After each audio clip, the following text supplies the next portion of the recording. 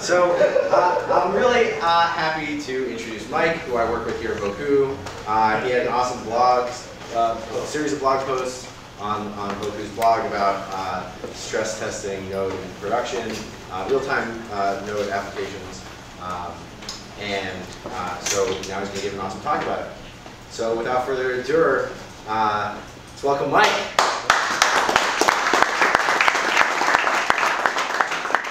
Hello, thank you. Um, before we start, I thought I'd just point out that, uh, as you probably know, or maybe if you're not working with Node so much, you might not know, that uh, the guys at Joyent declared Node 010 stable uh, yesterday. Oh, wow. Yeah. So yeah, that's, that's a big that's a big deal for them. Um, the last few weeks we've just been looking at performance stuff, and uh, we talk a little bit about it on um, the Node Up podcast, which actually, since this is the Node.js meetup, I might as well mention that. So this is a nice podcast where they talk a lot about um, really technical stuff about Node development. And uh, one of the things they talked about about Node 10 was something keeping it from coming out uh, the past month or two months is uh, performance um, performance regressions. And so it was really neat to hear them talk about like what it means to have performance tests and how you maintain those tests, and um, how it's kind of difficult to have like a reliable benchmark. But yeah, so that's big news. Uh, try out your apps on 010 and see if they work or if they don't. And uh, yeah, I'm sure they could use some feedback on that. See the other news for Node.js, and this is um, more relevance to us here tonight, uh, specifically is um, AWS just released some uh, support for their Beanstalk for um, Node.js. So, um, let's see, is this? Yeah. So you can deploy Node.js, and this is kind of like a, a scalable architecture for you to um, run your application on. I have no experience with this, so if you have any questions about Beanstalk, don't ask me, or uh, you can ask me and I'll just explain all time or something. But, uh, I won't be able to help you. So uh, what we're going to look at tonight is using AWS to run stress tests, but not actually to necessarily host your application. Although um, what the, the concepts I want to go over are going to be agnostic of where, wherever you decide, whatever hosting provider you decide on uh, for your apps. So, um, yeah, let's get started. What I want to do first is talk about the background of the project that I was working on over the summer. In um, October into September, I was working um, with PBS on a project, and I'll talk about what that was and what we built there. Then I'll go into um, what it looks like to build an application, a real-time application with scalability in mind. We're going to be looking at specifically at the Socket.io library. Who here has heard of Socket.io? Yeah, most people, great. Um, so again, I don't want to get, I don't want to have too many specifics about that library, but um, when it's instructive to look at the specifics, I, I'll, I'll go into detail. Um, then we'll look, look into configuring a server. So once you have your application built and that's you know running nice on your your uh, work machine, how to get that out somewhere that's um, accessible to a lot of people. Finally, um, what it's like to run a simulation or just to actually run your stress test, and then we'll do a stress test uh, right here at the end.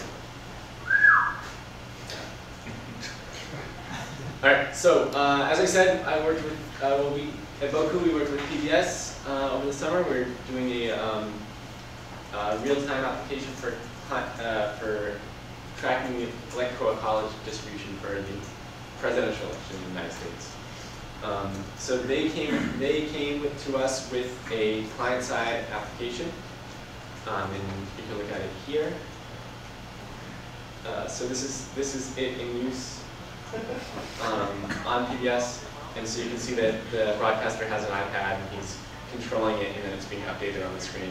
And so this is entirely client-side, um, and like right now they kind of just have someone ghosting him and like doing the same thing that he's doing, or I think they might just actually have a video feed direct from the iPad. Um, but that's that's what we started the project with. It Was this thing built with uh, um, with Dojo, I believe, I can't remember now, but it was just this application that let you look at different maps, and then specifically there was one map they were most interested in, which was their electoral college map. And so they were going to be using this on the evening of the election to um, to track where electoral college votes were going and who was in the lead for the presidential election. And what they're interested in doing was using that live uh, on the air, as you just saw, but also making that uh, real-time application so that uh, other people that were connected to it at home watching um, would get updates as they were made on television. And so this is what uh, is being called a second screen application. And that's going to be, that's like a, a buzzword that's, that's kind of gaining popularity. Has anyone heard of second screen before? Some people, yeah, yeah. So a lot, so this is some, like, this is like a, a medium that a lot of television producers are exploring as far as like trying to get more engagement for their viewers and, and connecting um, you with an application that kind of helps your uh, broadcast content. And so this is a little bit of video uh, me just demoing it. I have two different browser windows open, and I'm kind of I'm kind of just proof of concept. I'm like, okay, this is what happens in one browser, and you can see it's being pushed out to the other browser. And for uh, the purpose of like running a stress test, this this um, paradigm is, is very very simplistic, uh, which is thankful because there's a lot there's a lot of variables going on when you have to do any sort of stress test. And, but this is probably the most simplistic model that you could build, where you have one broadcaster that's in charge of all the data and just pushes out to everyone else. So none of the people that are watching on television are, are communicating with each other. It's just being published in one direction. So um, lucky for me, that made simulating this stuff uh, a lot easier than it would be if you know I was doing something like a multiplayer game where there's a lot of rooms and all the players are interacting with each other. This is just kind of just publish out one way. So we'll start with um, what it looks like to, to build that application, uh, or to build an application, hopefully, you know, in a generalizable way. The first thing is um, um, the importance of modularization. So, I mean, this is like kind of a, watchword of programming everywhere, but uh, as it relates to this talk tonight, the most important part of modularization is that you're able to um, get your networking logic outside in uh, the rest of your, your program so that it is, uh, it is kind of isolated and is something that you can work with so that you know, like I have this one file or this one module, say, that um, is concerned with making connections and communicating between the server and maybe other clients. Um, and that doesn't have to worry about like working with the DOM or doing anything else that's related to your application. Uh, we'll get into why this is important in a bit, but uh, it's more than it's more than just the general like best practices and maintainability things that I, I'm sure you're used to hearing when it comes to modularization. Now, it seems like a lot of you, or maybe most of you know what Socket.io is, so I don't have to spend too much time on this. But um, basically, the Socket.io is a project that's um, developed by a company called LearnBoost, and what it's primarily concerned with is uh, bring real time to the, the browser environment into many, many different browser environments. So um, if you're just targeting Chrome, it's easy, you can just use WebSockets. But because a lot of people live in the real world and uh, they have to target other browsers, Socket.io is kind of a compatibility layer that's able to use other transport mechanisms that are um, available in browsers as old as IE6. Um, and then as at a high level from as a user of this library, you don't have to worry about those distinctions. You're still using the same API, and you don't care, however, whatever transport mechanism is using. So sometimes it's called the, the jQuery of real-time application because people appreciate its API in the same way they appreciate the jQuery. Um, and an important distinction to make when you're talking about Socket.io is that it's actually comprised of two components. There's Socket.io client and Socket.io uh, nothing, Socket.io proper. So Socket.io client is the thing that actually runs in the browser and it's the thing that's aware of, uh, it's able to do feature detection and see which transport the browser is capable of doing. And then Socket.io is the part that runs in Node.js and runs in the server. And then um, in addition to serving the client, it actually serves, it, it can, if you want, serve the static JavaScript assets to the different browsers. It also is in charge of you know, communicating with them over um, a specific, uh, over a dedicated protocol that they've implemented. And so um, if you, yeah, so if you look at the Socket.io project, you'll see that it, requires a Socket.io client as a dependency. So uh, if you're, you're inevitably going to be looking at the source of socket.io. It's helpful to know um, that distinction and how these two things fit together. So um, another one thing that I would recommend doing is parameterizing your uh, endpoint in your in your client application. So here, what I've done is um, I've kind of stripped out all the other parts of this this application, and this is just the part. This is the, the JavaScript file that's intended for the, the browser. And um, even though I knew where our uh, where PBS's application was going to live, we got we ended up getting a Rackspace server, and I knew the IP address and I knew the port it was running on. Um, I also knew that I'd be testing in a lot of different ways, and I think that generally um, that's not always going to be the case. So if I were to develop another application, I might not know in advance where I'm going to go, and it might even be that I buy a month of uh, a couple hours of service with a bunch of different providers, and then I can benchmark the providers themselves in addition to my application. And so for those reasons, it makes a lot of sense to uh, generalize your source code such that um, the endpoint location is a parameter that you can kind of build. And the way that I, I did this was using Grunt.js. And so this is kind of part of my Grunt file all mashed together. Who here's heard of Grunt.js? Okay, cool. Um, so Grunt.js, for those of you that didn't raise, your hand, Grunt.js is a, a JavaScript build tool. Um, and so it's, it's like if you've heard of a make file, or uh, if you've heard of make, then it's, it's sort of like make, but intended specifically for JavaScript projects. And it's written in Node.js so that when you use it, you use JavaScript. So these are the directives for my, these are part of the directives for my project and the relevant ones to this. And so you'll see that this is part of the copy task. And um, just a caveat here is that um, at the time I was developing for Grunt 03, and since then Grunt 04 has come out and a lot of things have changed. So I'm not, I don't think that this specific uh, syntax will work anymore. But the general use case though is that um, when I was copying files into place because I was uh, doing some transformation on these files, I was making a replacement uh, and it's the, the, the work is going on here where I'm replacing node host and node port with the relevant parts of the config. Um, and then it's also a good idea like to uh, derive these from the environment so that you can, so that other developers can change it. So if I'm, if I'm another guy on your team and I, I run um, several project on Port 8000, then I don't want to, it's going to be annoying for me to have to like shut that down or to actually change the source code.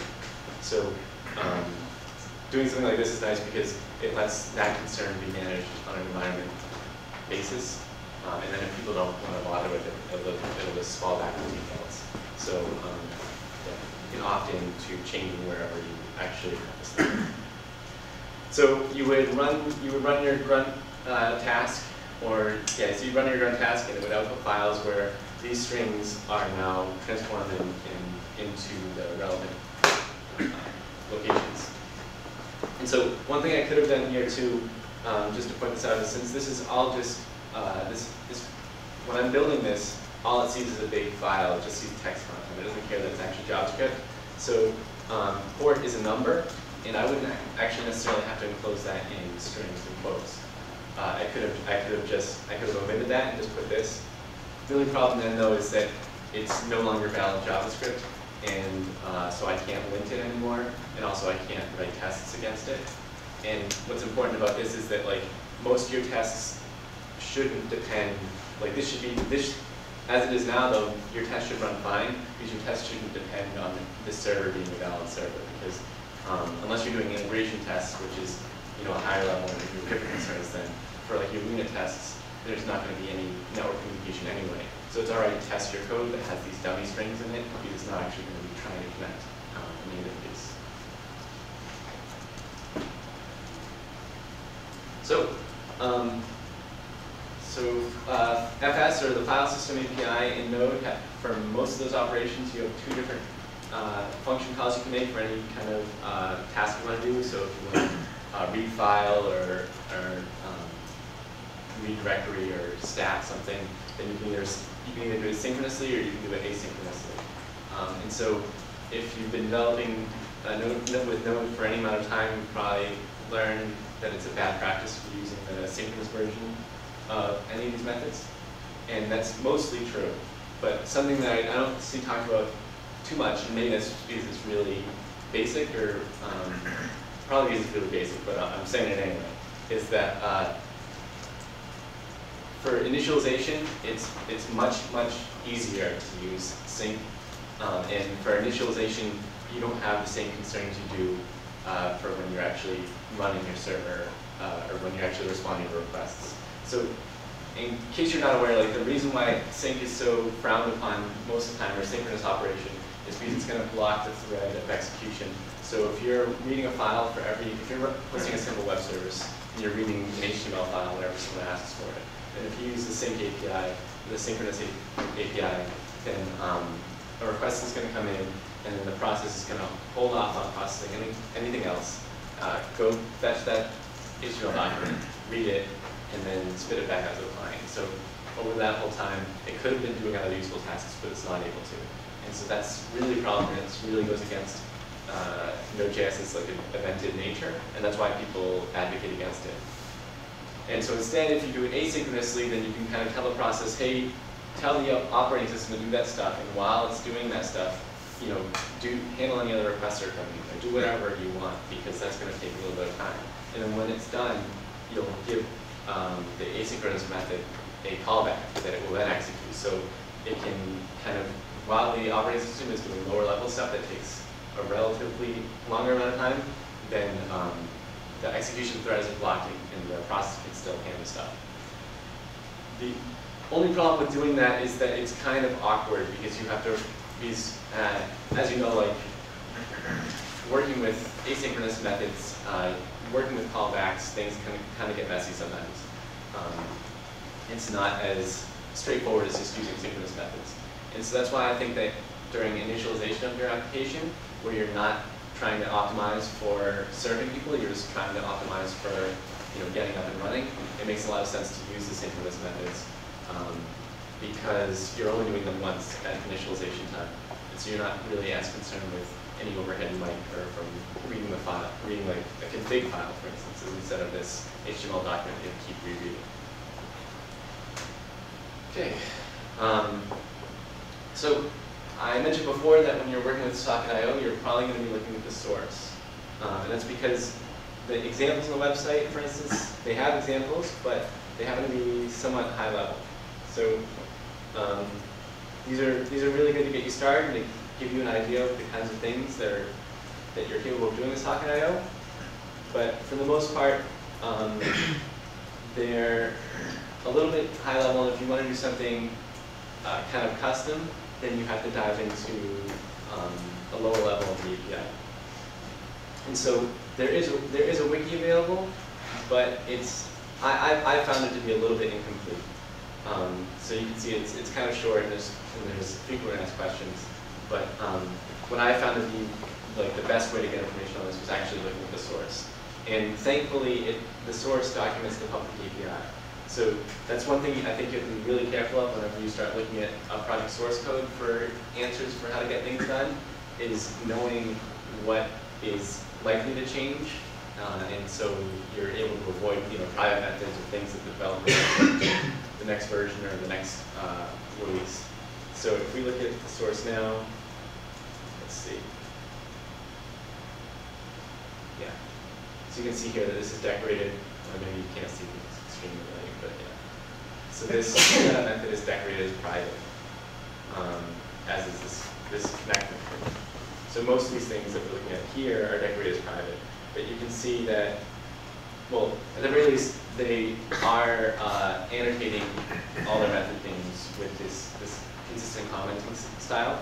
And so that's really useful to you because that lets you know, like, okay, like I see how I can technically get this done, but if I do, like, you're kind of, you know what you're getting yourself into. Um, and so that way you're able to, as you're learning, as you're learning the API and as you're learning how the internals work, you're also learning more advanced ways that are acceptable to do things and more advanced ways that are a little bit risky to do things.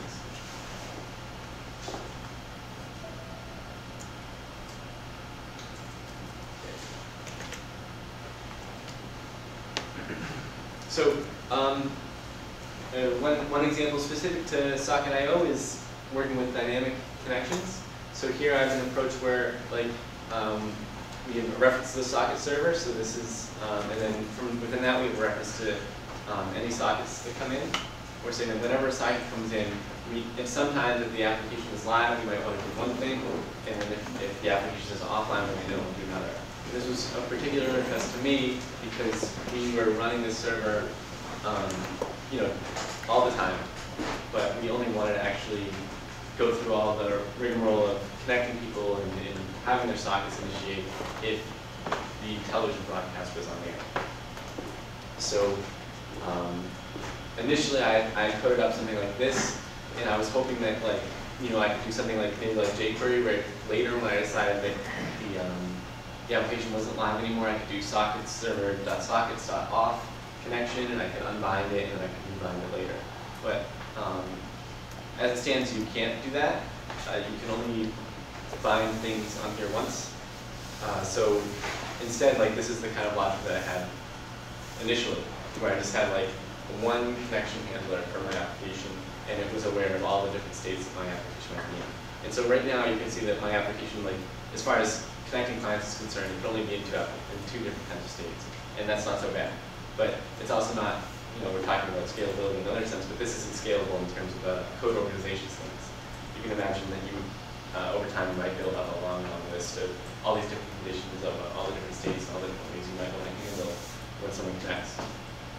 So instead, what I ended up doing was, for this case, was um, having this very, very generic uh, handler function for the connection event, and then it was referencing a variable that I could then reset as I wanted to. So that no matter what, uh, whenever something connected, it was always going to be calling this socket handlers connection uh, method. It was going to be applying it uh, within the arguments that came here. So then elsewhere, as the state of my server changed, and as I realized there's more parts, like for instance, one thing that I haven't really talked about yet, or yeah, is that um, uh, we were we were shooting to support uh, rebroadcasting. So because this the broadcast may be syndicated, we wanted to be able to rebroadcast the originally recorded events in real time. And so that's like another state that we might get into. That's um, you know yet another time we might want to change what happens when clients first connect. Because in that case, what we were doing is we were going to send the entire recording as just one payload, so all the data about the entire recording, and then on the client kind of fake live by doing like set timeouts and saying like, oh, this happened like, you know, in five minutes, and this happened in five minutes and. Um, and so in that case, like this, this I was finding to be a little bit more scalable um, because it let me change it without having to change actually, it let me change what happened when things connected without actually changing the content of that one unit.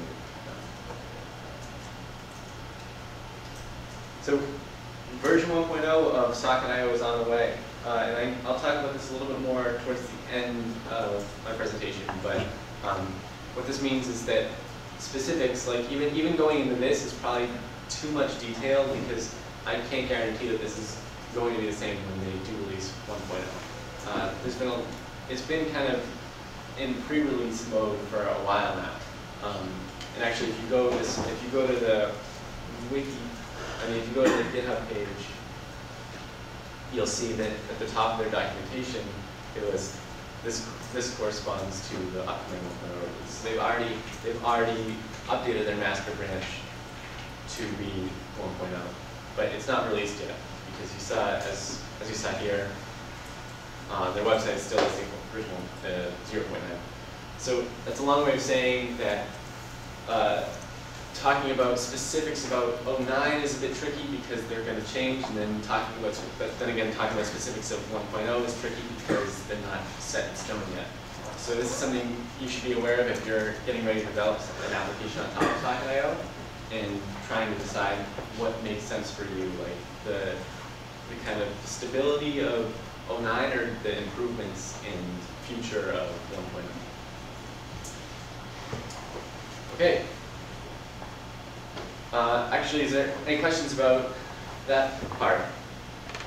Yeah? From my understanding, like, you're going to use like the 1.0 now, you, you use Engine.io.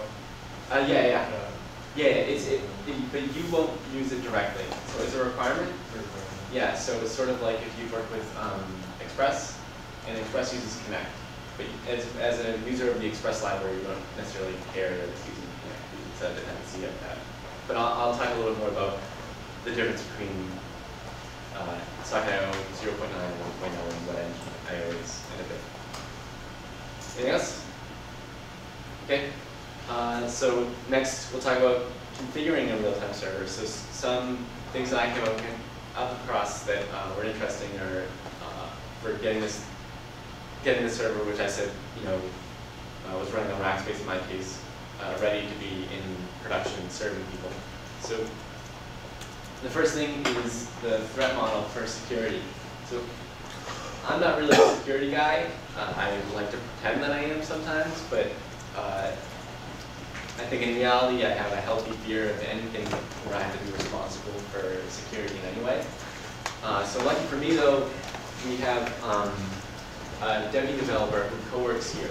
And so he was like really, really helpful to me, like learning a lot of uh, just basically like what the security what the security concerns are when you're running a web server generally, and then what that can specifically mean for a Node.js service.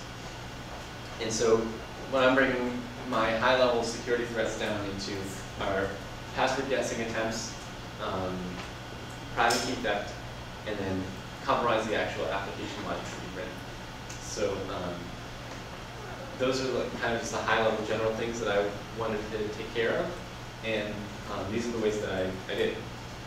So for password guessing, I kind of eliminated that as a possibility by disallowing password login via SSH. Um, and so really, you want to be using um, public public cloud keys to log into your machine uh, because it's not susceptible to just like brute force. Well, I guess anything's susceptible to brute forcing, but it's not realistic to a brute force attack against a, uh, public key the same way it is against you know some uh, eight-character password that's like you know the name of your dog or something like that. So um, that's a, that's a good idea right off the bat. Is disallow SSH um, password access to the root user, but any, actually really to any user that you want to log in. So then from there, we're worried about private key theft. So um, I recommend creating a dev user, which is the dev user you actually get stuff done with, and then giving that user sudo rights. And so this is kind of Unix, or this is like Unix terminology for how you deal with uh, administrator privileges. Um, and so I don't want to I don't want to spend too much time on those details. I mean, just, do people generally know what I mean by sudo rights? Okay. So um, if you do this, then the, the benefit here is that you, your, if your key is compromised, for instance, if, so, if you leave your machine running or if someone else gets your key and they're, they're able to log into the system, they still need a password to actually get something uh, meaningful done. So uh, that kind of protects you in that case. And then finally, as far as uh, compromising the application logic, and this is honestly something I did not do in that, and it wasn't something that really occurred to me until after the fact, was to create a separate user from dev even that's you know called node or node or something like that that's actually going to run the application. So in my case, I just had the dev user running the application. And what that means from a security standpoint is that the application has all the same rights that the dev user does. But if you create a, a third user that isn't root, that isn't dev, but it's something even more uh, deprivileged, then if, for instance, you're, um, you, write your application in some unsafe way, like you use eval, because everybody loves to use and you're, um, and you're just evaluating uh, code that comes in, And then you can limit what the application itself is capable of doing. So uh, what's useful for this as well is like, so then the actual directory that the application lives in then could be the, belong to the dev user. And so that way, if uh, the application couldn't do anything like installing modules or something like that, it couldn't start deleting files. But this is all this is all contextual to your application needs to do. Because most likely your application will need to know some of the files it's probably going to be serving something. So, um, so yeah, this this is just a way to be as restrictive as possible about the privileges that each um, level of security All right, um, so in, in as far as technical requirements, the first is obviously Node.js. Um, and so what you can do is you can just run the binary or you can build it from source. Um, and then if you're, if you're really like tinfoil hat, you can use the checksum and make sure that when you downloaded it, there wasn't some somebody in the middle that was like switching out your packets and like making you know, evil Node.js. um, and what I learned is that the, the you know canonical or appropriate place to put this kind of stuff is in the opt directory in, in Linux, and that's not a directory that I use in wherever you used ever before. So there's a ton about what the Unix file system looks like and what it's supposed to look like, and what you know people with um, you know way too much time on their hands have thought about this kind of thing. I, I, I didn't want to mention any kind of beard, but you know, people generally tend to have facial hair when it comes to it. But this is all, uh, yeah, way too much information about where files, where you're supposed to put your files if you want to be friends with your cool kids. So, um, and I mean, I want to be friends with the cool kids, but I don't want to be friends with the cool kids that bad. So I'm just going to say, like, okay, my Debian developer friends, so I'm going to put, an opt, and I'll put an opt. But honestly, like, I just kind of like that because there's a ton of stuff in uh, USR, and there's, there's a ton of stuff in uh, everywhere else in my system. And I like kind of the, um, it makes it makes it easier for me to think about when I just have like um, opt join node. Like that makes a lot of sense to me. And if you um, go to my blog, my blog post that Boaz mentioned, I talk a little bit more about um, what, uh, how you can further separate that so that you can support multiple versions of Node, which is actually really relevant on a night like tonight where we're thinking about, you know, maybe trying out Node um, 010. And so there's ways that you can you can expand this installation such that like um, changing over to a new version of Node is as simple as changing a symbol. Um, so that's pretty cool. Uh, and then just importantly, what you'll want to do though is you'll want to um, change the permit, change the owner of the node directory to your dev user. And the reason why you do this is so that you can install packages globally without sudo rights. Um, and so that's really nice because uh, it just makes things easier. And that's what I do like on my personal system anyway. And what it also means though is that any random package that I install that, that installs a binary isn't going to have, is itself going to have um, admin rights on the machine. All right, another technical requirement is uh, locking down dependencies. So everyone here is more or less familiar with um, package.json for tracking your dependencies. And there's like this whole, um, there's this whole uh, like language for specifying what the dependency should be. You can use stars, you can use tildes, you can use X and numbers and dots, and it's all like a lot of fun. But um, what what some people like, what, what's easy to forget though is that specifying, so in semantic versioning, or are, are people familiar with semantic versioning? Okay, so case you aren't, um, it's just it's just a method for specifying the version of software in such a way that uh, these numbers actually carry some meaning uh, to developers using that software. And so it's the the kind of classical, well, classic for Node.js at um, pattern of, of three numbers separated by dots. And but what some people don't realize is that just because you, you specify that your package wants to be at you know 1.0.7, um, that doesn't necessarily mean that the code underneath that isn't going to change. So when you specify a, a version uh, that as specifically as you can, the semantic version, uh, as far as NPM concerned, is concerned, that means that it's going to always fetch from um, from the repository code that's been published at that version. And so any dependencies that that code depends on is going to be fetched according to that package's dependencies, uh, that package uh, version numbers. So if I have uh, socket.io 0.9.11, for instance, and um, and I think that you know, okay, that's great. It can't be any more specific. It's never going to change. There's actually two problems there. Um, one is that the things that socket.io itself depends on might change without them changing their version number. And so um, so that's generally not a bad thing because generally maintainers won't change their dependencies without uh, a good reason, but also, uh, most libraries don't specify their versioning that specifically. So if we go back to Socket.io, we can check out their package JSON. And so you can see here like debug, or actually send is a good example. So some of these, so the, their internal dependencies are, are very specifically versioned. But so send is, versioned at 010 with a tilde. So that means that anything 010 to um, anything other less than 02 will be satisfied with this. Which means that even though you specified um, socket IO here will say at 1.1.0.0, that any time that could change. So that's one problem. Um, and uh, thing that's intended to solve that is uh, npm shrink wrap. So here, who, who knows about npm shrink wrap? Some people. Okay, cool. No, no, no, this is good. This is good. This means that I'm not just talking to uh, a bunch of people that already know everything. So what what this what npm shrink wrap npm shrink wrap is a command that actually crawls your node modules folder and um, notes down the, the explicit version of every single package recursively throughout the folder. Um, and so the best way to look at that might be to actually go to um, directory that does it. So why don't I go to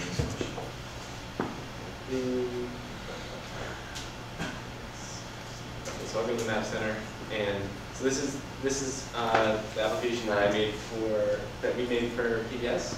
So I can do here npm shrink. so now it's generating a file. It's complaining about different files not having readmes, and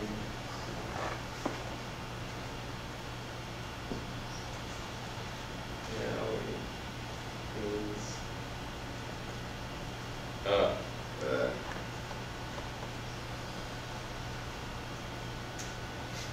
Is this a gem file lock or like pip freeze equivalent? Yes. Okay. Yeah, yeah, great, great. So if you're familiar with either of those things from uh, Python, pip freeze, or from uh, Ruby gem, file gemfile.lock, it's the equivalent. So what it's doing is it's actually just going to, uh, like I said, recursively traverse all your dependencies and note down what each one is, is at. And so if I actually had my dependencies resolved on this machine, we'd be able to do this, but it would just spit out a npm-shrink wrap file that would specify that.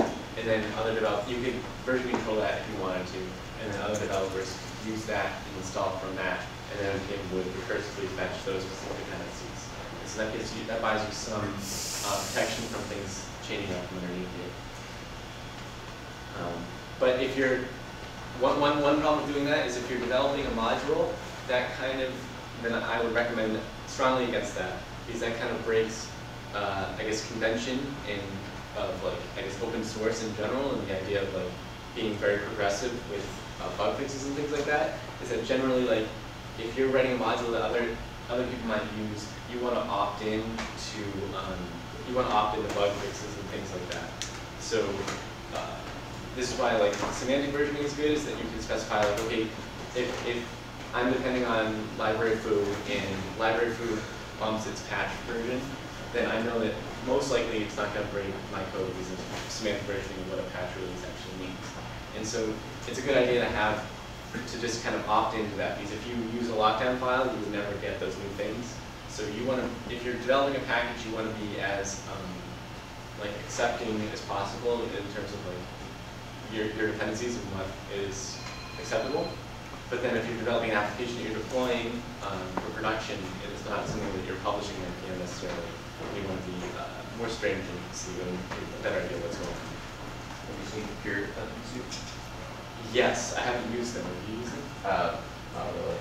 But I've heard that it kind of works. It is supposed to help with that problem of like you're developing a library that will be used with some other library. Um, and you both depend on a third library and getting that version together. Yeah. Yeah. We, we use peer dependencies in Grunt before now, and uh, it's uh, you can basically it's great for things that accept plugins that are not direct. Like a Grunt plugin doesn't depend on Grunt, you can go alongside with Grunt, and you can your plugin can say this plugin works with Grunt or Grunt. And then if someone tries to use it with Grunt 0.3, NPM will complain, that's what a trigger dependency is. So it's more like deployment systems. So that's, that's another feature of NPM, that's actually a new feature of NPM. Um, and so in the same way that you, in your package.json, you, we, It's really new. all the time, like, I, I want to use DuckDuckGo, but so many times it's, uh, oh, the- oh, wait, wait. Okay, yeah. So you can, here you go, this is where it was, they were announced as being part of NPM, and this is just in the beginning of February. And so, um, this is an NPM documentation, and even Google, I will say, even Google, this is number five, so come on, that's not. But the actual word first is up first. Yeah, yeah, the actual points. That's- I don't know. So anyways, um, yes, this is, this is pretty new, but it's, uh, kind of interesting uh, distinction that you can make when you're building your packages. Um, right. So, oh, I was going to actually shrink that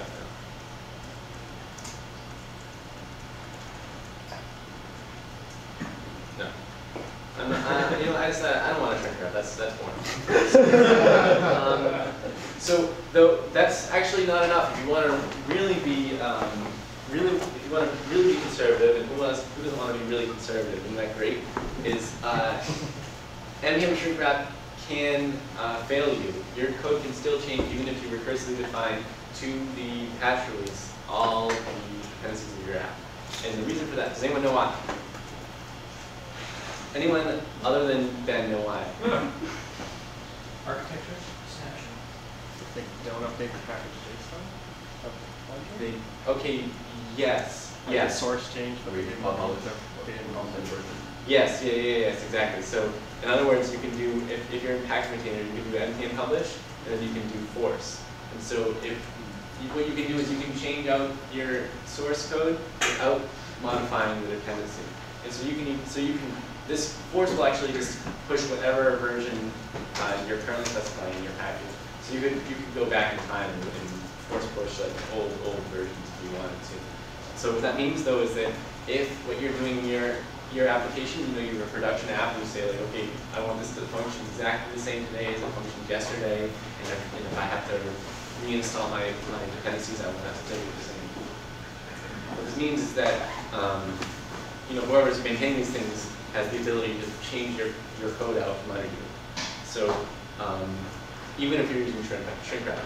And so that's why uh, NPM lockdown is necessary if you want to be very, as I said, very conservative.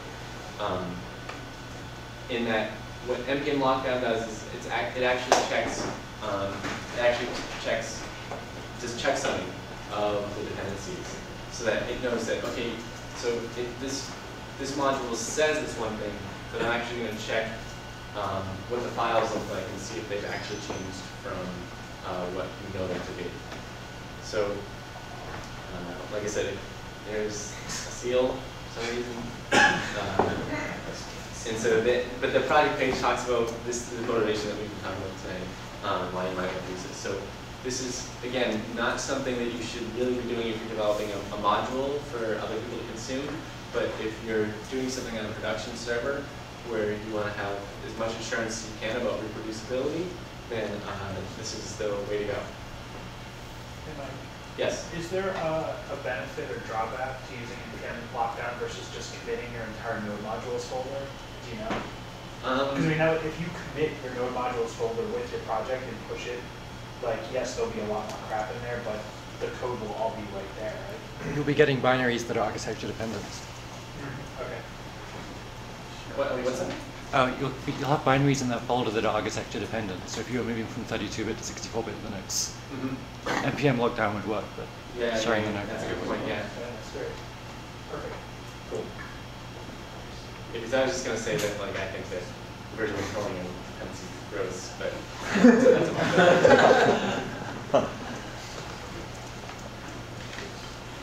All right, so, uh, if we're gonna do a stress test, then we need to get data, because, um, it's all well and good to say, hey, like, this looks good, or hey, this is really failing. but you need to know, you're probably gonna need to know why. So you need to be able to inspect this, the state of your server and see what's going on inside. So one tool that you might use is HTOP. Um, a lot of people here have probably used top before, and this is what top looks like. It's just giving me some diagnostics about my system. You can see how many tasks I'm running, the CPU load, memory usage, and specifically what the tasks are and the percentage of time, CPU time they're using. Um, but uh, HTOP is a little bit nicer because it's colorized and it has some bar graphs and actually it also responds to mouse clicks. Um, so I can like start sorting and stuff like that. So um, if you want to be getting real-time data um, in kind of a, a semi-graphical form, then uh, this is this is really nice. And so uh, if you're running a Debian-like system, Ubuntu or Debian or something like that, you can, you can get that with um, it, just the package is named HTOP. So that's cool, but uh, it's really tough to use that data, to analyze that data, like especially later. Um, and I'm, I'll, I'll be honest, when I was first getting started with this, like I said, I'm still kind of finding my feet with, with Unix sometimes. Um, the best thing that I initially came up with was actually piping the, this data out into a file and then later like, introspecting this file. So kind of snapshotting this text and grossly like, transforming it to try to get numbers out of it was awful. It was terrible. Um, what's much better is, is SAR. So um, you can get this, pack this package on uh, uh, apt is sysstat. And so I can show you what this looks like. So I'll run SAR, and I'll tell it I want information on sockets, and I want to update once every second. And so this is a little bit too big. Okay, still a bit too big. But basically, um, you can see the heading here is telling me about the total sockets, the TCP sockets, the UDP sockets, and the raw sockets. And this is, um, and it's giving me the time for each one. And I can also output that to a file. So, can't remember.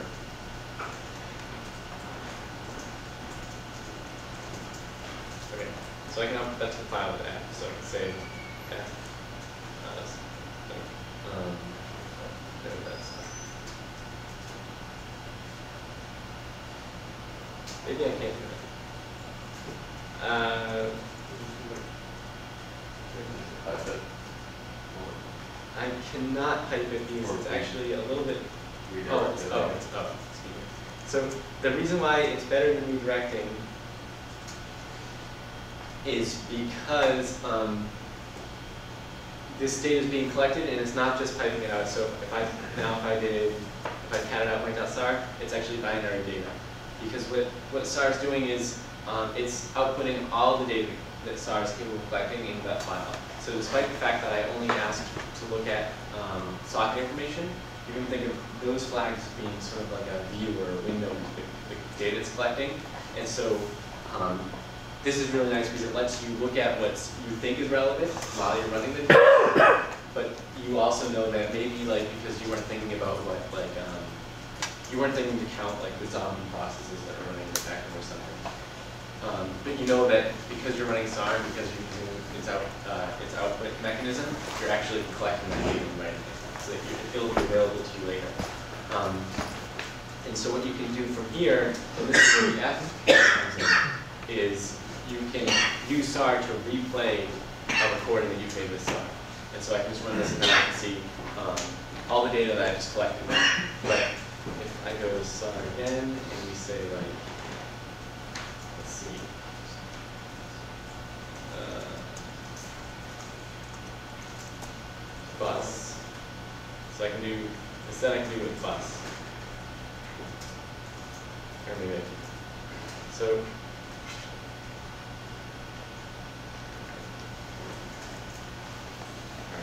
I'm not a SAR master. Um, what you can do though is you can use this stuff and I fix I promise. Alright, I don't promise.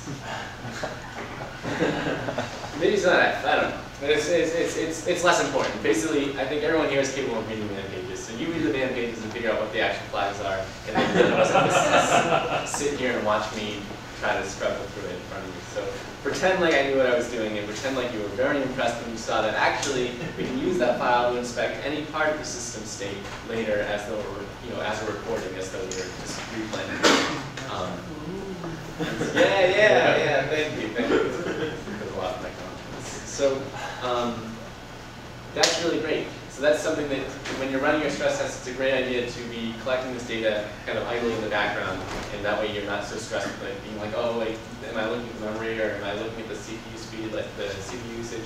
Like, you can just kind of say, I'm getting that data, and I can view it in all these, I can transform it however I want later, and then export it to Excel and start making nice graphs. Um, so yeah, try out that's really cool stuff.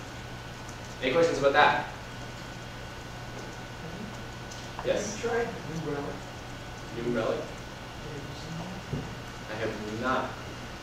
It like puts all of that of information into a fancy UI that you can look at. Yeah. Yeah, I would put it on the list. Okay, Mr. Cool Crap. New new relic like this? It's a it's a web service rather than software that you can download. It's a company that sells a, I think, a web service. Cool. Yeah, Cool. There's one straight where we use the introduction before. Yeah. It, it- it's definitely something you can like, it takes like three percent of your application performance and it gives you all these fancy graphs about why your shit pooped the bed and why, um, why it's running slow and it gives you like graphs about why your CPU is failing and stuff. It's really useful, it's still great. And there's a free version. And there's a free version, Oh, they give you a I love it. t-shirt if you sign up for the free version. Uh, if we get a t-shirt back in. Seal, seal the deal. Although I'm still struggling with this imagery of my shit pooping the bed. Okay, cool, cool. So new relic, nice. That's why we have disaster recovery. All right. So moving right along. We are gathering a swarm. Now this is the this is the meaning of the presentation. This is why you're here. Is uh, learning what it's like to simulate this because I built this. We built this and um, knew right away like okay, they're expecting 10,000 concurrent users, and that's a really big number to to me uh, and really frightening. And so like my initial reaction was like, oh, well, why don't I just do some mathematics? Like that's easy and cheap, and you know I can I can do that on my back uh, back napkin. And then quickly I realized there are way too many variables, and there's way too much I don't know uh, for any sort of math to really tell me anything useful about how my application actually performs. This is just such a complex. What we're talking about is such a complex scenario. There's no way that I could even write it. I would ever reasonably write it uh, that I'm to capture everything that's going on. So then I started looking at, well, how can we actually simulate this instead? Instead of doing, um, instead of just doing math, how can we actually put our application through the paces and see how we could truly respond in some sort of controlled environment? So uh, what we want is to be able to run this as a script so we can repeat it uh, as many times as we want. It's not enough, like, so what, that immediately says that a solution is not, I get ten of my friends to all of the application and all of them open up a bunch of browser windows and then tell me how fast they thought it was. Um, what we want is something that we can execute from the command line as many times as we want. So, like, possible solutions are scripting a real browser to run your application, so it could use some, a tool like Selenium. Uh, have you guys heard of Selenium? So this is Selenium. It's let's it has like drivers for different browsers, so you can tell browsers to go to different uh, uh, URLs and to interact with the page, like click here or type there. Um, but as you might imagine, like if I want to simulate 10,000 connections, I'm not going to start up 10,000 tabs in Chrome. um, and I'm and, like even and it doesn't even scale like really horizontally that well. I'm not gonna have a hundred machines that each do um, a hundred connections because that's still a lot of to. So that was out. Then I thought, uh, then I thought, well, what about using Phantom JS? I'm assuming maybe more people have heard of Phantom JS. some nodding happening, yeah, nodding. So uh, in Phantom.js, you're, you can run uh, web, a WebKit browser from the command line, it's headless, so you're actually starting up the full graphic stack that you need to um, render a page and all the UI around. Um, and plus, it's in JavaScript, so the API that you use to control is uh, itself in JavaScript, which is which is nice. But this is still really heavyweight, um, and it's still kind of not doesn't make sense to try to do this for 10,000 people who distribute it. So uh, third, a third option would be to actually strip out the network module and then run that in isolation in Node.js itself. And so this, um, this, has, this had some legs to it. And this is why earlier I was advocating the idea of modularizing your logic, specifically your networking logic. Because if um, the line that says connect to the server if the line that describes how to connect to the server is, this, is next to the line that says how to, you know, uh, set the HTML of the button element, then there's no way you're going to get that to run in Node.js. But if you separate these things out, such that um, the networking module is relatively compartmentalized, then you, you have a chance to do this, which is not run a full browser, but just run uh, a process in Node. Um, and so we all know inherently, I think, because we're here, we know of what Node can be capable of in terms of scaling for a lot of a lot of times, I think, simultaneous actions. And so that's exactly the same. So exactly the same reason that you might want to run your web server in Node is, a, is the reason why you might want to simulate a bunch of uh, connections to stress test it. in Node. You, I'm sorry, Yeah. how do you try with Zio, you run that? You know, uh, that. It's a node-based online performance testing. Okay, cool. So let's Queue it up, it's awesome. So there's a caveat with Blitz. Uh, we put two pretty uh, large-scale move apps in production, and uh, they actually DNS cache when they go to do the testing. So if you're doing, if you're building a high availability site and you're load balancing like across availability zones, you're gonna be going crap, because like one of your zones is gonna get like eighty percent of the traffic or whatever. We pulled our hair, hair, we probably got on the phone with them, we got on the phone with Amazon, like, "Oh, yeah, by the way, we DNS cache. So just a little caveat. Yeah. You should, you should, it's pretty cool, if you're, and later, it try, try Blitz button, you put in a web URL. DNS cache. Cool, cool. Well, this is good. So we're so I'm kind of I'm kind of coming at it from the cowboy roll your own stance, but there's it seems that there's also a lot of um, people that are thinking along the same line of providing these kinds of things as services. So it's good, I think, that you guys know about this and that we all are able to make a decision about what makes sense to hire out what makes sense to maybe do ourselves. Um, so, um, I used, um, so for, for this, for using um, my networking logic from Node.js, um, I use Socket.io client from Node.js. And so this is, uh, this is where that distinction between Socket.io and Socket.io client comes into play. Is that even though Socket.io is intended for the browser, I mean, Socket.io client is intended for the browser, it'll actually execute just fine in, in Node, um, which is really cool. Uh, but it's not, there, there are some parts of doing this that aren't uh, immediately apparent. So um, to get it to run, you need to use this dirty hack that I have here. Uh, there, there may be a better way on, on all yours. But basically, what I'm doing here, and this is my client simulator application, is I'm getting the directory where I stored the connection logic. So this is the live app connection. This is the module for the networking. And then I am um, reading that file, and uh, here it is, the call to eval. So I'm evaling the, uh, my networking module in this context. And the reason why I need to do that is because my networking module is expecting to use uh, the globally defined I.O. object. And so just simply executing that code, it won't, you know, the way that dependencies work in, in Node, won't um, actually see the fact that I have, I happen to have something defined globally, unless I eval. So so I need to do a valid. Um, and then I, I expose the I/O from Node here, and then um, so now I know that my client module is is now running with bound to uh, Node.js's the same I/O object right here.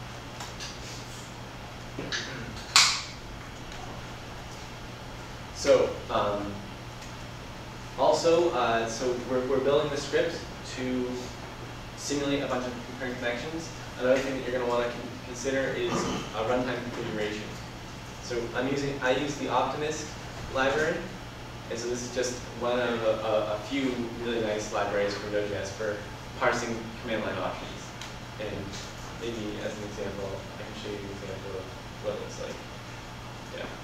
So here you can see it's the API is, is really simple to define. Like these are the parameters that I might want to change. These are the, the short forms, the long forms, default values, whether they're required or not. And this is really great for if, uh, well, basically these you want to have as much flexibility as you can for when you're running your stress test. You don't want to necessarily have to change your code and re-upload your code um, every time like you, something new occurs to you. Uh, so this lets you kind of scale back or scale up your stress test in real time uh, easily. If you just parameterize as much about this, this script as you can. So uh, also it's worth noting that like you might want to be collecting data from your simulated clients. Uh, so in, in, addition to collecting data on the server that's serving the application, you might want to collect data about what the simulated clients are experiencing in terms of uh, their interaction with the application. And if you do this, you'll want to you know, have some way to write down the results that you're getting, or to, to store the results you're getting. So first I was thinking, oh, I'll just use uh, files, I'll, I'll do write file. Um, and I, you know, I'll make it asynchronous and it'll be fine because it's asynchronous and we all know, we talked about why that's a good idea. But um, to be even more conservative because like you are, you know, you are running a bunch of these, a bunch of client simulators, uh, you're simulating a lot of clients on one machine, and having them all write to disk, even asynchronously, is going to tie up the disk and is going to have a uh, performance impact on the simulator. It it's, uh, might be a good idea just to write it to memory and then and then grab that from memory um, after the after the test is over. So the way that I did this was I had my client simulator also run a web server, and then it would respond um, it would respond to requests with the, the data that it had gathered. And so you can see here, that's what's going on here, is that this is, again, the same script we've been looking at so far, which is the client simulator, the thing that pretends like it's you know a, a whole bunch of people. Um, it just happens to also be running a web server. And so when you make a request to a certain endpoint on that web server, it'll dump out the data that it's collected so far. So that way I can say, keep it in memory, don't worry about trying to write it to disk while you're actually running the tests. But when the tests are over, um, then I'm, I'm going to pay you for the data and you can clear it out and just give it to me.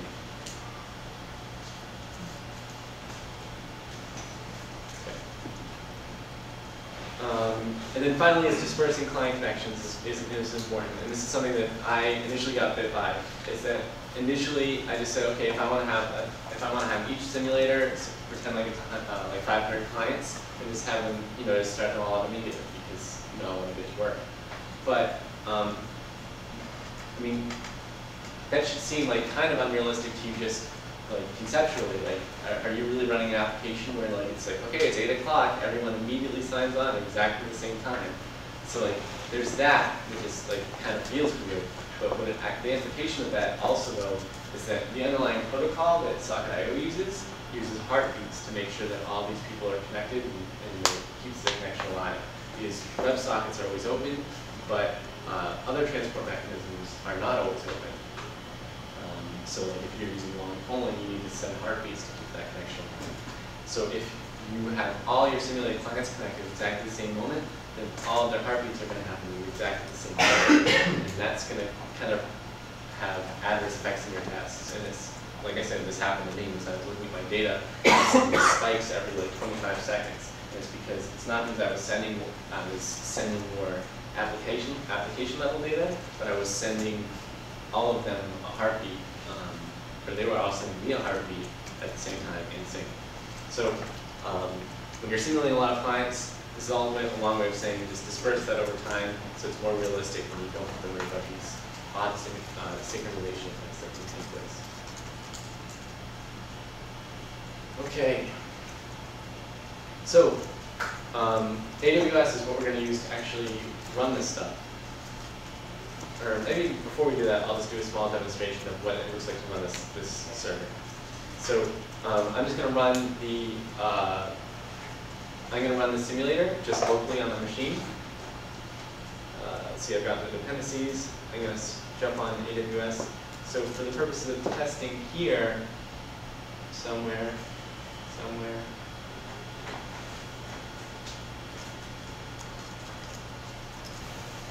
Alright, this thing worked. So for the purposes of testing tonight, you know, I'm still, I don't have a, a rack space, um, myself. But I do have, um, a dummy server running on EC2. So EC2 is just providing a server as though we're running the web, as though we're a production server. Um, let's see.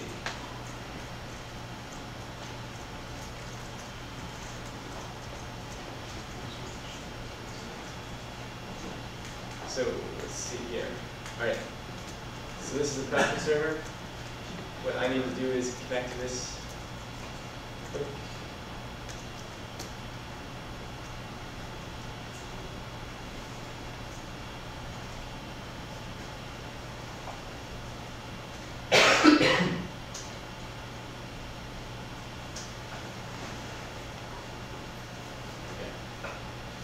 So here on the connect server, um, what I'll do is, I'll just do that again, I guess.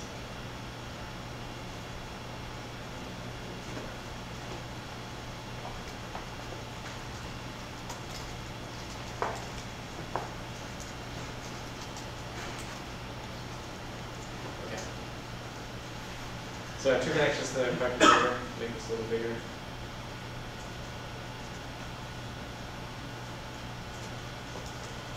Um, and let me just change into the directory here. Let's see, oh.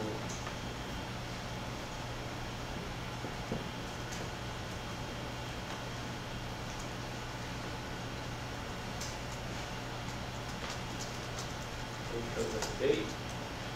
So now I'm gonna run my server. I can do it from root.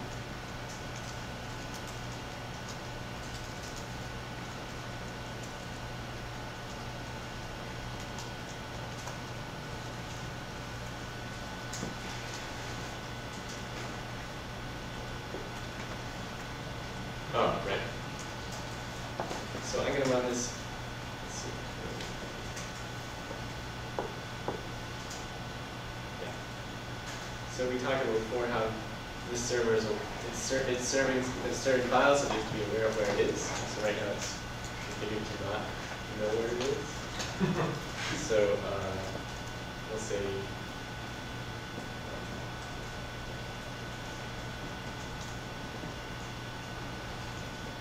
tell it where it is, and so now we'll, we'll, we'll rebuild.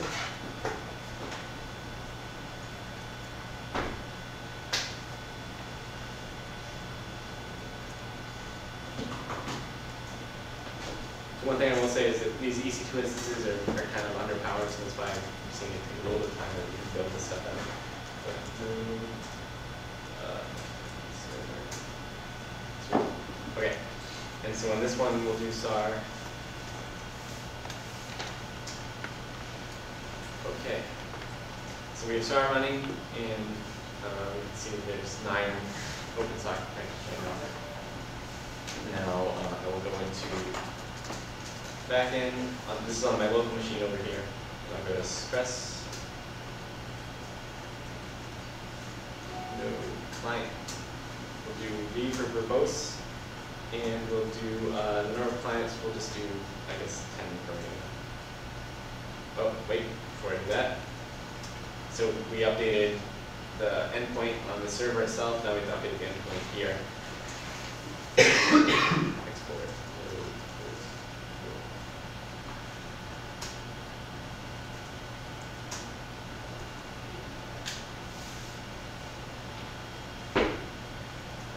And uh, I laptop is a little bit underpowered, which is why me a while to build this out.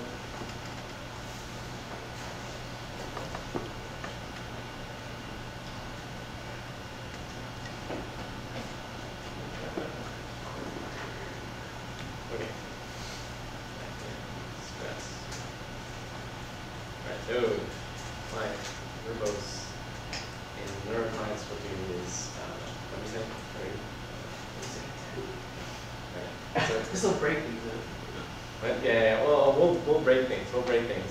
So the last thing I'm gonna do is, you see that by default, it's doing it over 180 seconds, which is way too long for us to go through over 10 seconds. So now we're connecting, we see it goes up to 10, 19, 22. So this is, we're looking from the EC2 instance now, and it's seeing all these people connected. So now we've gone all the way up from 9 to 39. So all 30 of these connections are connected. And so when I did this, I had to go a step further and I had to say, okay, I need to script a broadcaster. I need to have the broadcaster really just click different parts of the map so I'm actually sending the real data. Um, we won't get, go into all this right now, mostly because that requires starting up a full stack and I don't want but this is like a proof of concept and really this is the edge of where it's kind of generalizable to any application you might write as opposed to my specific application. So uh, I think this is, you know, kind of good advice. So, uh, yeah, cool. We'll kill this. Watch this immediately go back down to nine. If we wanted to be irresponsible, we could do it.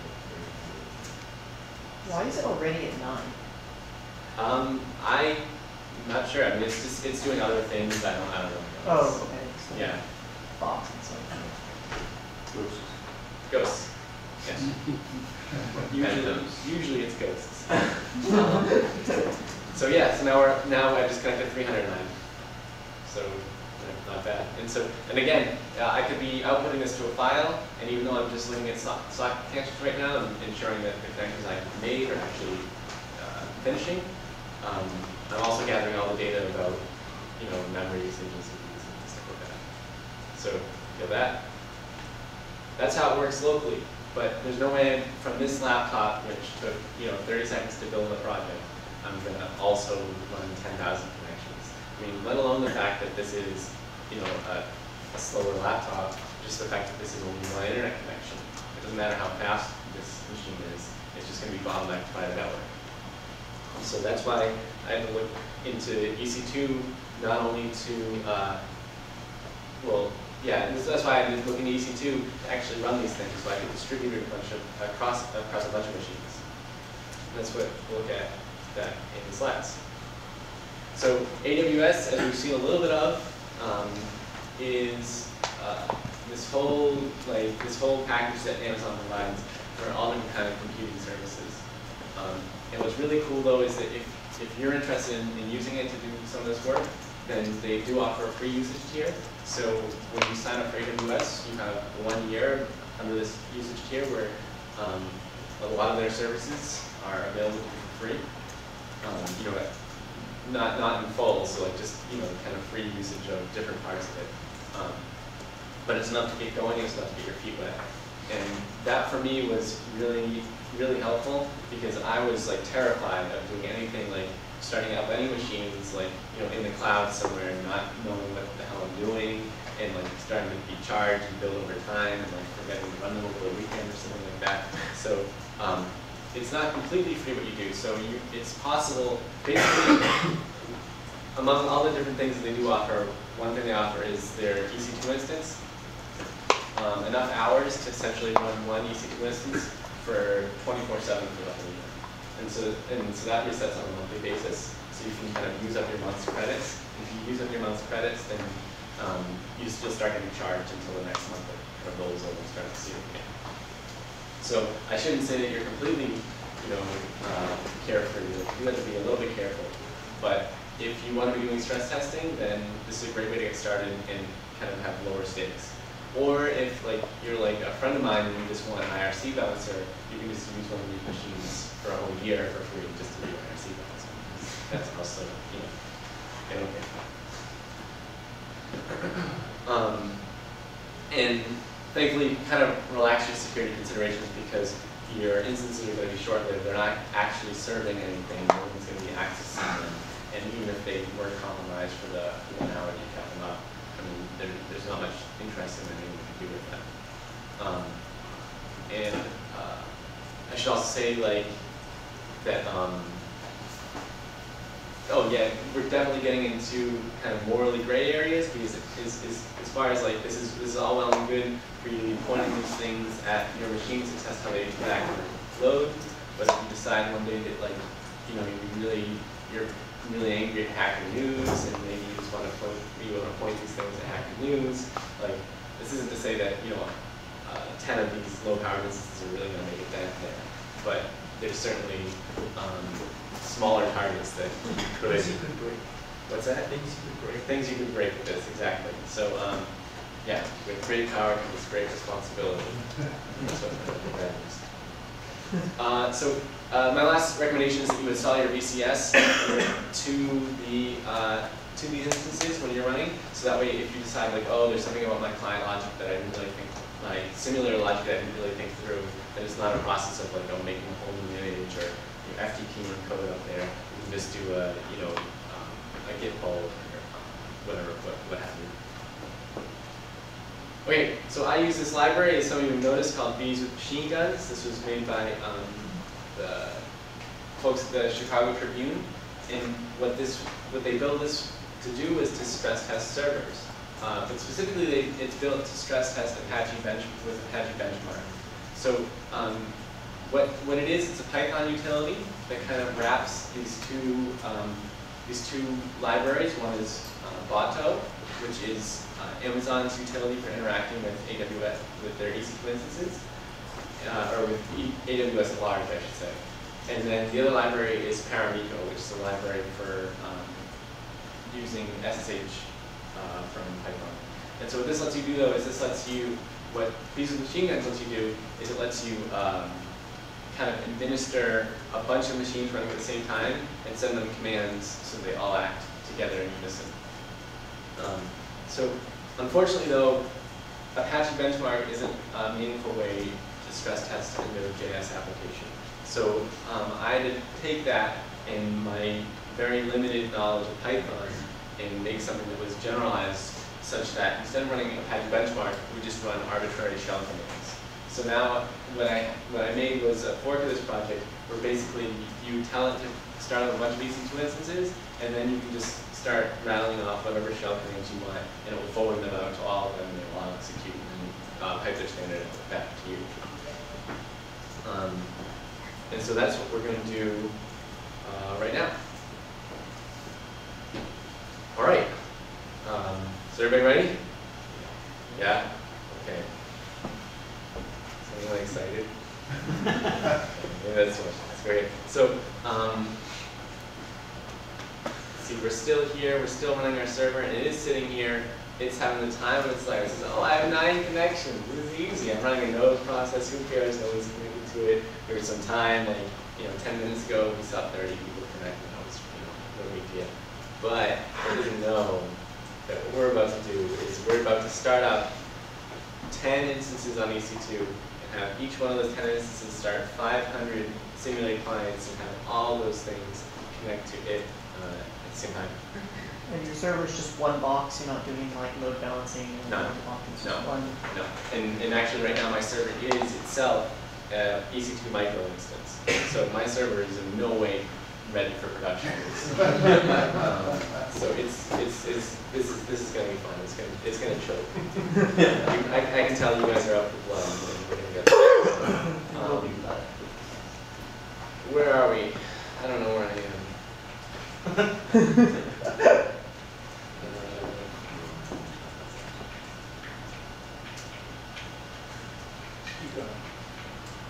Okay, okay, I found where I am. Now, um, I'm gonna cheat a little bit, and I'm gonna paste in a command, because to get started, you need to specify a lot of information. You need to specify what instant, what, um, what machine image you want to use. So pri- prior to tonight, I had set up a machine and told it that it's gonna be my client simulator. I installed Node.js, I installed my application, and like I said, I installed the VCS, that's what I installed Git onto it. And so, and then I saved it as an image. And so now I can start up any number of instances based on that image, they'll all be exact duplicates. So I need to specify that, I need to specify that key that you saw I was using, the Bocoup-PPS key, so that I can authenticate into it. Um, and I need to tell it what zone I want to be in, so I'm gonna set them all up in uh, US East, just so, um, the commands going back and forth are quick for demonstration, but we can set them up in different places all, all over the gonna um, so that command is, is here.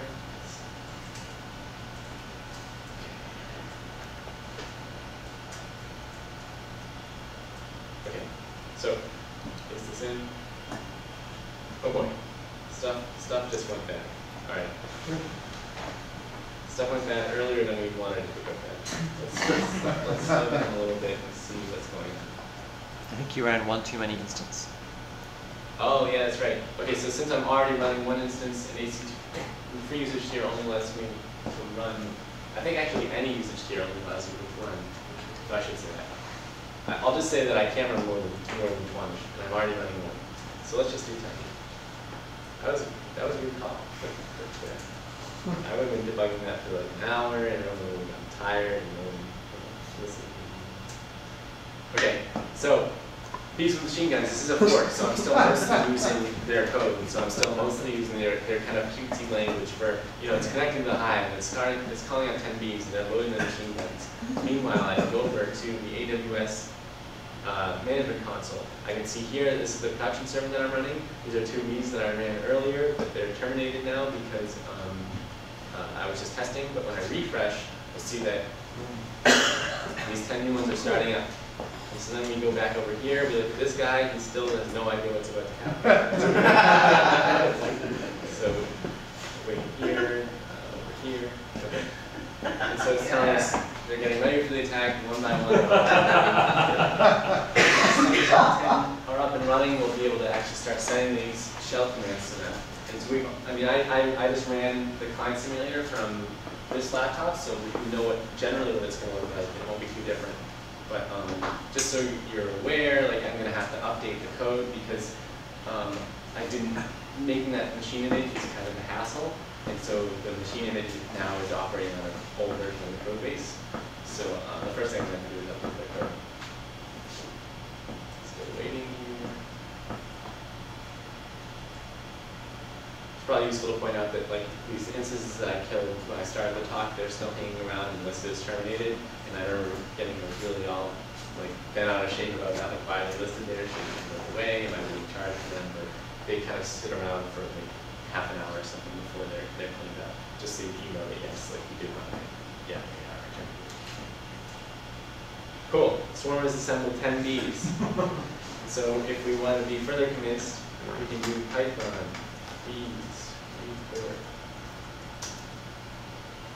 So now I have the IPs of all 10 bees that are running.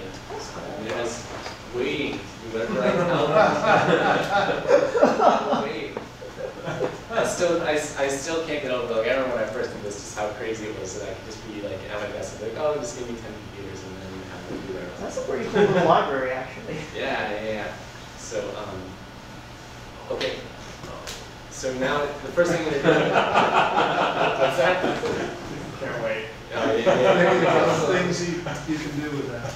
So, um, so, yeah, initially Python, uh, Bees with Machine Guns has an API that's really nice for like basically working with Apache Benchmark. So the Bees with Machine Guns API looks a lot like the Apache Benchmark API because you can specify uh, command line flags that are special, that are uh, specific to that library.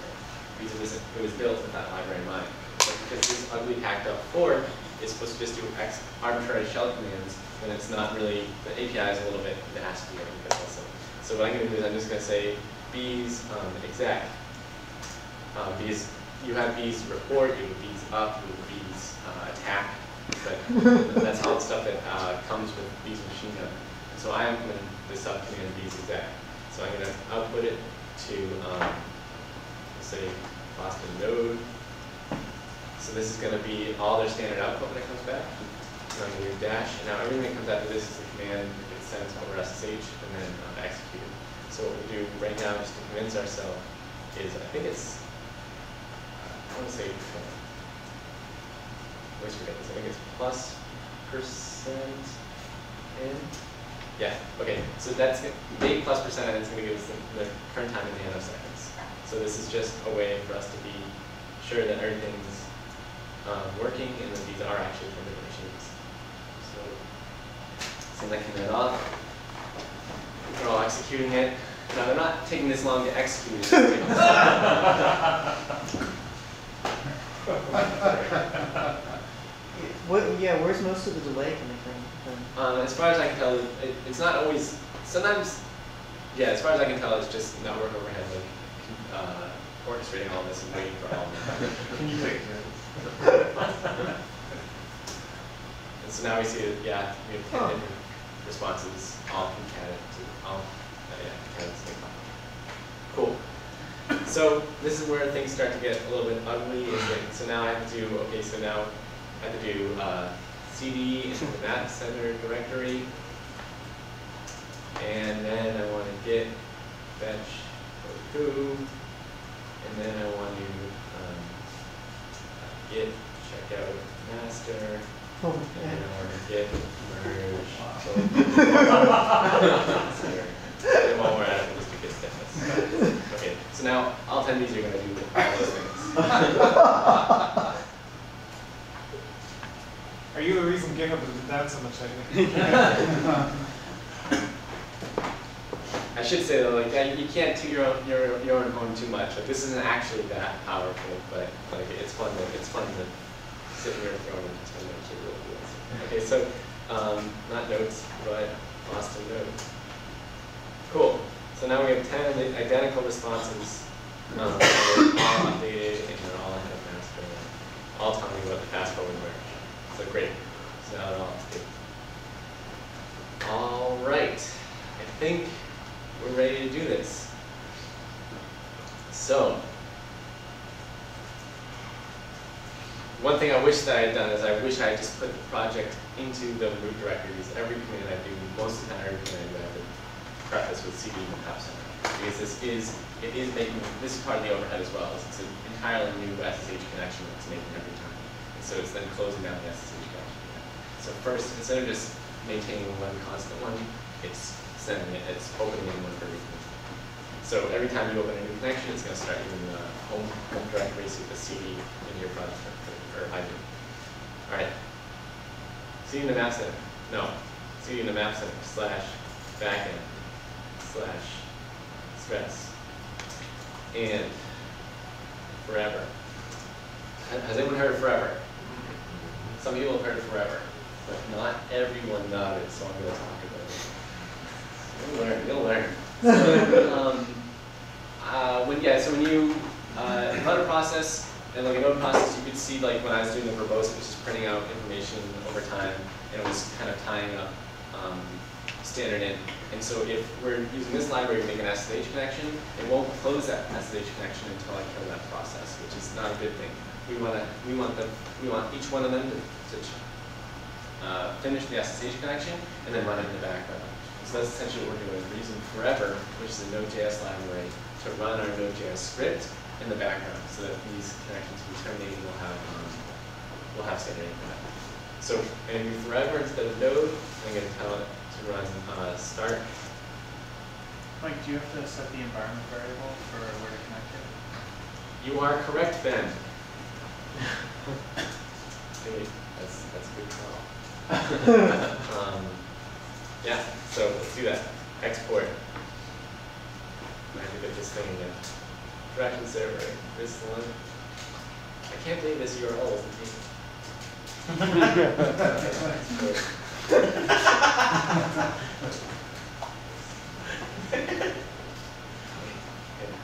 and run. So now I'm going to be running run 10 different machines all at once. Is this right? Let's see. Map center. Export.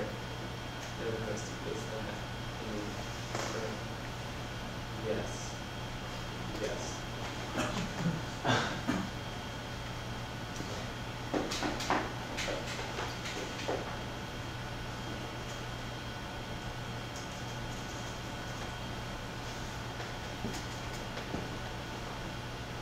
So if it runs the forever and throws in the background just an SSH connection, you need to like do another one to like kill the process, if like they kill something, if you wanna. Yeah, yep.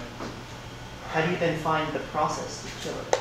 It's, it's all part of the Forever API. So we'll get into that. for the stop. Oh, okay. There you go. So we'll, we'll, we'll do that in just a second. So Yeah, let's see. they actually create a service for you. Ah, I see, okay. Cool. Sweet. And now we can see the output of run on 10 different machines.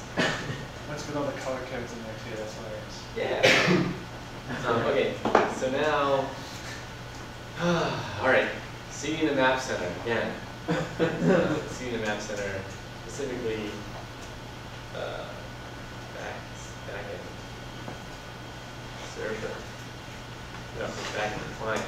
No, no, stress. I don't know when- okay, back in the stress and forever start client.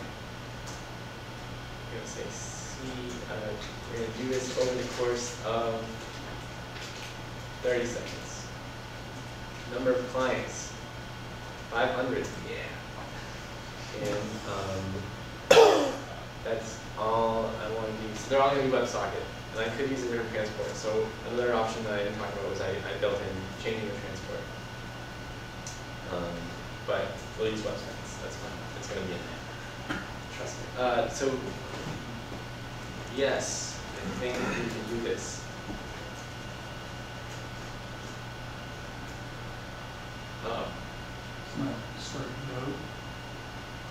Um, I lost my connection over here. So let's see.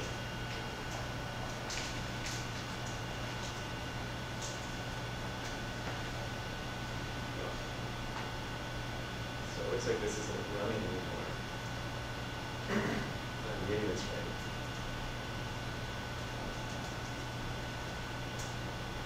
Yeah. So it looks like the Socket.IO's service is off. So what we'll do is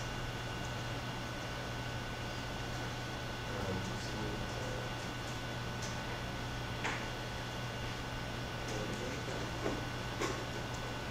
So maybe it is, uh, You need to reset your, You need to export the, uh, the host name, right?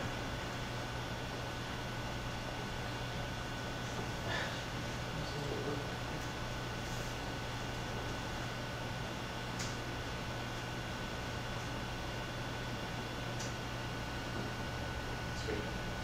Okay. So, um, yeah, great. Ready? yeah. Watch this. It's gonna work. Never sure. Oh, oh, oh, there, there we go, there, you, you got, you guys all proud, you guys proud of me.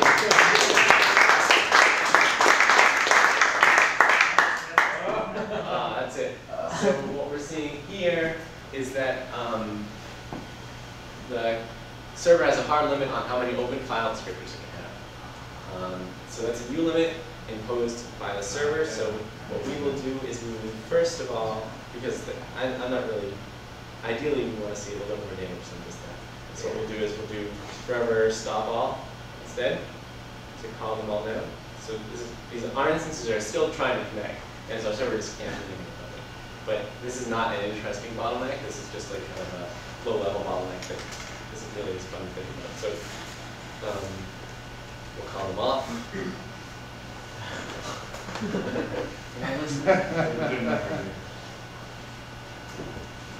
we go. Sad trouble.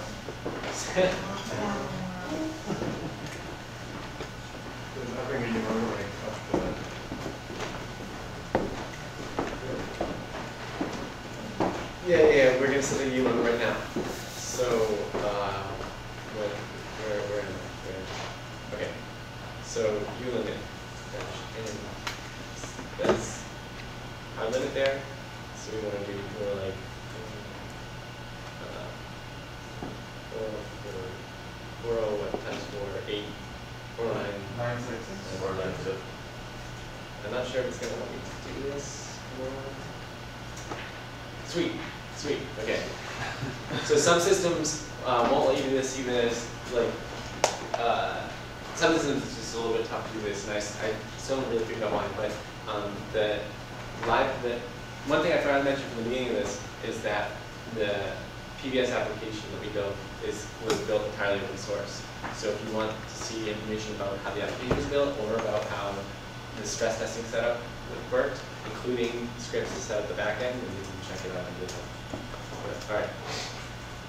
Starting that up, good. Recording nine socket connections, good. Send them off again.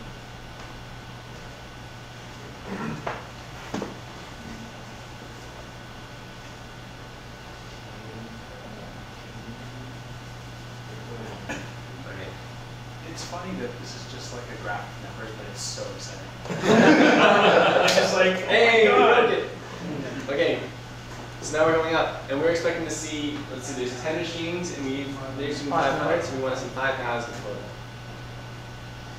We can go over to this other machine and see, oh my god, it is freaking out. It's all the information about all heartbeats. I'm going to pause this for a second to see what it's telling us. Yeah, heartbeats all over the place, up the wazoo. Okay. 5009, oh, we did it. Wow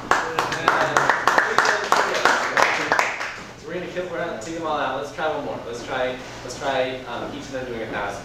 I'm not even sure that a thousand that each two instances can actually each fake a thousand connections. So we might end up seeing a bottleneck on our EC2 connections themselves. And that's something you have to be careful of when you're running your stress test is knowing where your bottleneck is coming from. Because if the bottleneck is just that the machines you're using the stress test aren't powerful enough, then the numbers you get aren't really interesting or useful. Okay. So said 1,000.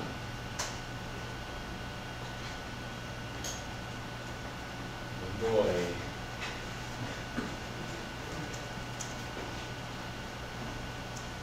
This is the goal, we're gonna set EC2 on fire. nice. I wish. Having fun, but I think they're, uh, they're, they're capable of handling a little bit more. Alright, here we go, one, one. Wow. Alright, thirty-five thousand.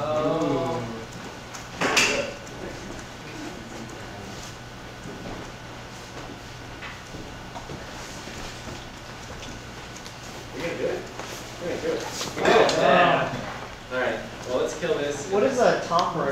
Yeah. Yeah, how did it go to ten thousand ninety-three, like it had like a ton of extras for a second? sometimes um, Socket.io like is, is, le- is leaving some things open, so like sometimes the number isn't exactly what you expect it to be. Um, so Your machines look surprisingly okay. yeah. So occasionally you know, you know what's, what, you, what will really kill it? What will really kill it is if we use um, long polling. So all these connections are being over WebSocket, which is an efficient protocol for doing real time. But um, that's very optimistic in, in production. You're not going to see that. Uh, you're going to see people connecting with IE7, and they're not going to use WebSockets. They're going to use something with long polling. And um, that was a, a great interest to me, was figuring out, well, like initially I just got these great numbers and said, oh, you're gonna be fine, you're gonna be able to handle ten thousand. But I knew that it was only if they were long polling, and a lot of my trouble came from what happens when you simulate um, XHR. Mike, did you consider adding uh, a transport option to say like, uh, like distribute across all the transports based on like the kind of browsers you were expecting users to be using? Like to basically have a combined set of different transports? Yeah, um, I wanted to get there, um, but this was such a hurdle for me, and um, uh, Mr. Romney and President Obama weren't interested in waiting for the election, uh, waiting, holding off the election for me to. So by the time like I was approaching having to do that, like PBS was no longer had already done this, and you know we happen to know for um, that uh, application worked fine. People uh, connected, and there were no major breakdowns. Actually, uh, yeah, there were no major breakdowns on election day. So this is Something suspicious. Yeah, something broke here, um, and this is less interesting than the bug, so I'm not going to. I'm going to finish up the presentation, then we'll go call it a night. Um, but that's what that looks like. Uh, I'm going to call. Actually, um, we're not quite done with the views yet. There's two. There's two things that we still have to do. Um, so one is we'll stop all of them. So the B, well, I should say the B's are still on. We're just stopping simulators. So what we'll do first for fun is, let's see, yeah, something that happened to me when I was kind of, uh, you know, being really playing fast and loose with uh, making changes on the fly. Was I said, okay, I have to make changes to the simulator because I didn't think about this one thing that I wanted to do. So now that I've made it locally and pushed it to GitHub, I'm going to log in, I'm going to send this command out to the pieces that are already running. It says git um, merge, Bocoup, stress, X. And anything that had an experiment in the branch name, you probably should be merging. And so I, I should have known better. But so I ran this command, and I'm like, okay, great. I'm gonna run this command, they're all gonna get these latest changes, and my stress test is gonna work perfectly because I just fixed it. Um, and then as I wanted to do, I would cat out the results file. So this case, we're calling it mode. And what I got this time was, oh, I have a merge conflict in 10 machines out in the cloud. none of them are useful to me at all. Like, this is not, like, what do I do about this? That's not really, that's not good. And so then it was like, first I freaked out and ran around the office for a bit. You know, like, what have I done? This is Yeah, that's true, actually. Um, and then I started thinking, wait, wait, wait, wait, wait. This, I, I, I generalized this tool. So I've only been using it on, on stress tests, but I know the command line pretty well, and I know Git. So like, why don't I just fix this as if it were one machine that were right here? So then I'm like, okay, CD in the map center, then Git, uh, reset, hard, head, and then send that off. And so now all of them are saying, okay, I have all these conflicts, and I'm just gonna get rid of them. And then we see that they're now. So that was cool, but a little, little scary for us. All right, the last command that you need to know, and this is a very important command to know, is Python being down. This is actually deactivating the EC2 instances. And you can convince yourself, you know, returning to the aggressive console, refreshing, you can see they are all shutting down. Sweet. So that is, that concludes the demonstration. Um, moving forward, Ben's already asked about like possible extensions, and so one of them is certainly uh, making your simulator aware of uh, more realistic uh, gradient of uh, long polling website connections according to your target. But also, um, your your application, your node application, is distributing across cores, and this is what I was doing a lot of work on to try to support entirely long polling connections. Um, I didn't get there, but what I would recommend is to start looking into using a separate process to do load balancing. You can stick in Node if you want. Uh, you can use stud, and then stud proxy is a, a node module written to wrap around stud, and that does TLS termination if you're running stuff over SSL. Um, and you use that if you that can then proxy out to a bunch of different uh, node processes that are running processes. So if you're on a machine, you can kind of scale horizontally. Um, the other thing to be aware of is Socket.io 1.0. I said I'd get to this, and um, before we wrap up, I'll just mention that uh, Socket.io 1.0 is already built on, is already, but not, is already built on Engine.io. Even though it's not released yet, um, Engine.io is basically the transport mechanisms all modularized into uh, a separate uh, library. And so, and if you were to use Engine.io directly, you would still get this same behavior that Socket.io offers, which is uh, real-time in all different browsers, but the API is lower level. The API is compatible with WebSockets. And then if you and then if you want to use Socket.io, which itself wraps Engine.io, in that case, you would get the Socket.io uh, API that people like, which has things like rooms and it has things like authentication. Um, and in both cases, one another major change for Engine.io that Engine.io implements is uh, the way that it upgrades transports. So currently Socket.io, it does feature detection to use the best available transport for the browser. So if you're, if you're running Chrome, then it will end up choosing WebSockets and then having your connection go over that. The problem is that that is an unreliable process and it can take some time. And so for, um, so for what they've done with Engine.io is they've assumed the baseline. So everyone that uses Engine.io, as soon as they connect, they'll make an initial connection with a, um, with a long polling connection. And that is very quick to make and you know they'll be able to make it. And then if they can progressively enhance, they will upgrade that connection over time. But it saves them from having to wait, uh, for when people with, that are capable of doing things, wait for them to see if they can make it past the firewall or WebSocket, things like that. Um, so that's Engine.io. Uh, so I've included some resources here. I've done um, an article series on this topic, and I tried to make this presentation a little bit distinct from that stuff, so that you know if you've already read it, this would still be interesting. If you came here tonight, that would still be interesting. So I've also done a screencast on this stuff. Um, and this presentation will be up on GitHub later tonight. So I'm uh, Jugglin Mike on GitHub, and you can find it under uh, Jugglin Mike slash presentations. Um, that does it for me. Uh, do you have any questions?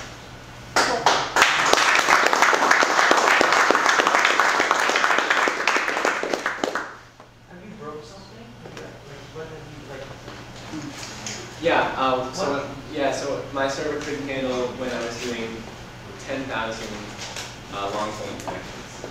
It just, it just died, it was, a it was CPU limited, so that's what started me down the path of looking at, at distributing across cores. And just, you might be tempted to look into, um, uh, Node.js's cluster module, which is intended for that kind of thing, but it's, um, it's really tricky, and I'm not sure it's possible, so here, it might be there, but to use a separate process. How long did this take end to end to set up and figure out and develop and? Um, that's a good question, like, I, to, to build the whole thing took about six weeks, I think, and then from there, it was kind of a pet project that I did when I found time. The stress testing part or the The yeah, most of the stress testing. I did the stress testing with WebSockets, Mhm. and I built up, um, I built up the graphs in my first article, um, in the course of that six weeks. But everything after that, I kind of felt like I was personally interested in, from learning about uh, long polling, and that was all done afterwards, and it's hard to say because I wasn't full-time. What was PBS's original motivation for switching from what they had? Were they just worried there'd be more traffic? Uh, so, well, what they had, what they had wasn't capable of doing anything in real time. It was client side only, uh, and so like it was just something that you could visit and you could actually do calculations and calculate like, oh, this is food win in this case, and you could change the food win in this case.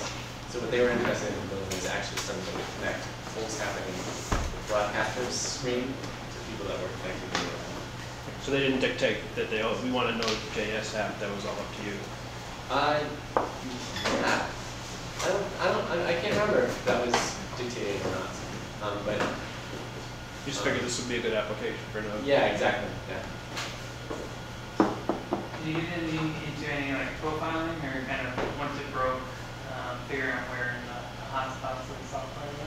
Yeah, yeah, I mean, there, so it wasn't just like, it wasn't just like everything's fine on the brick wall, and you can read a little bit more about that, like, like I talked about with, uh, the heartbeats, and seeing like that, that was a case where profiling was important, where I had to see like, uh, like regular problems, so, yeah, uh, check out the article. Alright, cool, thanks a lot, guys.